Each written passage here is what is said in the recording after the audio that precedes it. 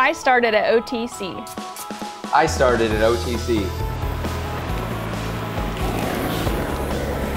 I started at OTC, and now I'm a design technician at Paul Company. I started at OTC. Now I'm a registered nurse working at Cox Health. Ozarks Technical Community College. Start here, go anywhere. Register for classes today at otc.edu.